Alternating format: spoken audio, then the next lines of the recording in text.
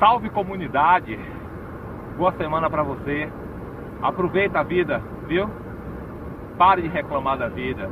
Tem muita gente que queria ter a sua vida, as suas coisas, o seu trabalho.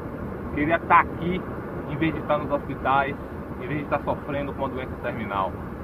Então, pare de reclamar e viva. Perdoe, ame, faça tudo o que puder fazer para ter uma vida plena.